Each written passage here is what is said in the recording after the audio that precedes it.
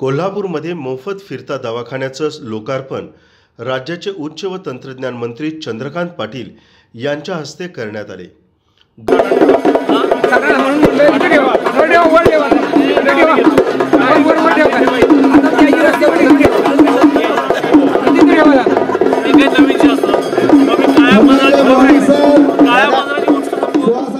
गरजू रुग्णांना मोफत वैद्यकीय सेवा आणि योग्य उपचार मिळावेत अशी संकल्पना चंद्रकांत पाटील यांनी मांडली होती.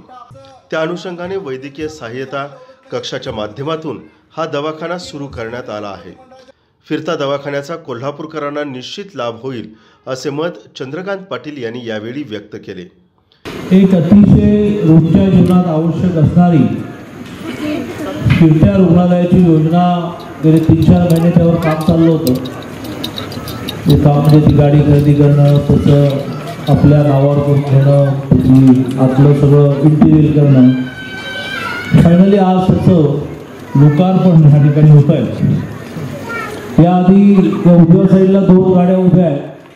त्या पण त्या शहरामध्ये दिवसाला चार स्पॉटला फिरत असतात. एक लहान मुलांचं वाचनालय आहे पुढचं वाचनालय.